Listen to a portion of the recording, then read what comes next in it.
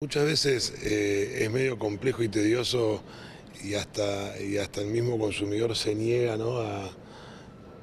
tomar un camino desde la institucionalidad, desde, los hogares, desde los médicos, los psicólogos, los psiquiatras y poder desde el municipio articular eso con provincia,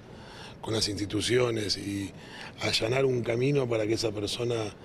lo pueda comenzar a transitar, creo que es eh, el, el gran tema y des- desafío que tiene el municipio en estos, en estos próximos años.